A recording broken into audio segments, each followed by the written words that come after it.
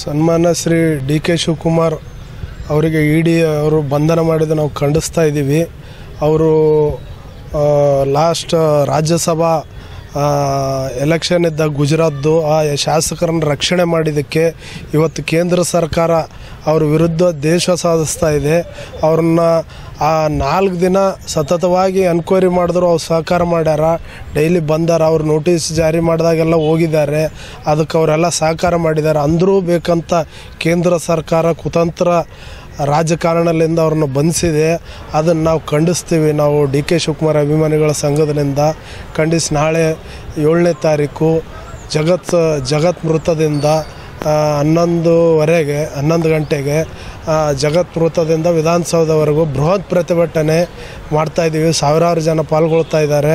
ಹಂಗೆ D K Shivakumar ಅಭಿಮಾನಿಗಳಿಗೂ ನಾವು ಕಳಕಳಿಯ ಮನವಿ ಏನಂದರೆ ಎಲ್ಲರೂ ಬಂದು ಸಹಕಾರ ಮಾಡಿ ನಮ್ಮ ಪ್ರತಿಭಟನೆಯನ್ನು ಯಶಸ್ವಿಗೊಳಿಸಬೇಕೆಂದು ತಮ್ಮ ಮೂಲಕ ಕಳಕಳಿಯ ಮನವಿ कर्नाटक के ट्रबल शूटर होने वाले डी के शिवकुमार को केंद्र सरकार आईटी के माध्यम से जो बंधित किया गया, उसके तरफ़ उसके विरुद्ध में गुलबर्गा डी के अभिमान संघ के अध्यक्ष गोपी कृष्णा ने सात तारीख दिन एक बहुत बड़ा रैली निकाल रहे, जगत तुर्त से लेकर जिलाधिकारी तक बड़ा रैली दे रहे, क्योंकि ये पॉलिटिकल गलत हो रहा। ये कांग्रेस के नेता लोगों को बीजेपी की तरफ़ से क्या हो रहा? पॉलिटिकल अवेयरनेस करना छोड़ के पॉलिटिकल द्वेष निकाल रहे, मगर ये गलत है। लिहाजा उन पॉलिटिक्स नहीं करते। बीजेपी केंद्र सरकार ने आईटी रेड डाल के ये कांग्रेस को फोड़ टुकड़े टुकड़े करने के चाह रहे हैं बीजेपी के।